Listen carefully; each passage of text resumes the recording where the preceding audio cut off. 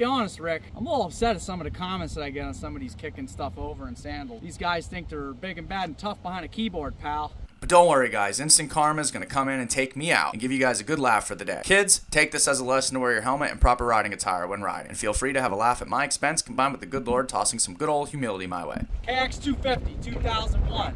This is a one-kick bike, isn't it, Just? I believe so. Oh, look! I didn't get my foot torn off! And I'm gonna run it like that!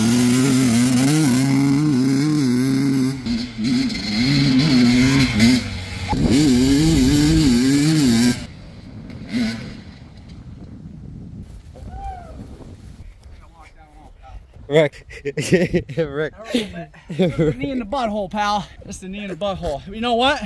I'm still tougher for rolling that out. She wanted to take a nap. But look, this is proof the flip flop stays with it.